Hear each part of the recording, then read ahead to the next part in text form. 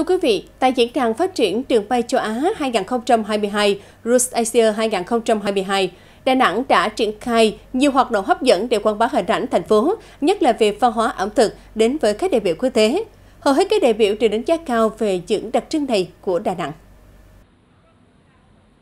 Từ ngày 5 đến ngày 8 tháng 6 năm 2022, Sở Công Thương và Sở Văn hóa Thể thao đã triển lãm trưng bày 60 ảnh đẹp của thành phố và các sản phẩm ô cốp của Đà Nẵng tại dọc theo lối vào trung tâm hội trợ triển lãm, bao gồm rượu cần, cà phê, tảo xoắn spirulina, bánh dừa nướng, yến xào, sản phẩm trong trùng hạ thảo, đá bỉ nghệ, quà tặng lưu niệm, xà bông thảo mộc, nến thơm, cao dầu thảo dược, các sản phẩm từ quế, tinh dầu tràm, không chỉ tham quan, mà các đại biểu còn thích thú tìm hiểu những sản phẩm này thông qua những người bán tại các gian hàng, trực tiếp thưởng thức và mua về làm kỷ niệm.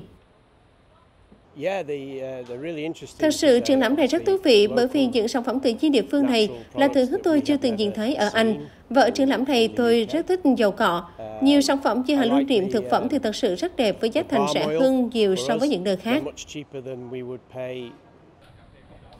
Diễn đàn phát triển đường bay châu Á năm 2022 là cơ hội để Đà Nẵng quảng bá hình ảnh của thành phố đến với bạn bè quốc tế, thu hút ngày càng nhiều khách ngoại quốc đến với Đà Nẵng. Xác định được tầm quan trọng như vậy, nên những người tham gia bán tại các gian hàng đã chuẩn bị sản phẩm kỹ càng, cũng như việc trưng bày phải bắt mắt và cách giới thiệu sản phẩm sao cho thu hút khách.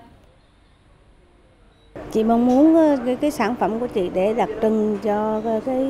uh tượng trưng cái đặc sản của thành phố Đà Nẵng để tượng trưng được với cái, cái ờ, ờ, ấn tượng tốt đẹp về Đà Nẵng sau này để khách nước ngoài họ đến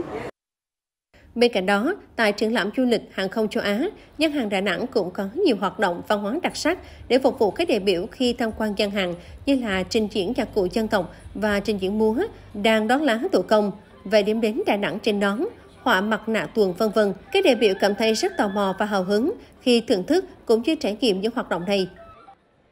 Với sự nỗ lực quảng bá hình ảnh tại diễn đàn phát triển đường bay châu Á năm 2022, Đà Nẵng đã để lại nhiều dấu ấn trong lòng các đại biểu quốc tế vì không chỉ chuẩn bị chú đáo cho diễn đàn mà còn đầu tư cho các hoạt động bên lề để đại biểu có những trải nghiệm mới lạ và độc đáo khi ở thành phố. Qua đó, góp phần xây dựng hình ảnh thành phố hấp dẫn, thân thiện và mến khách.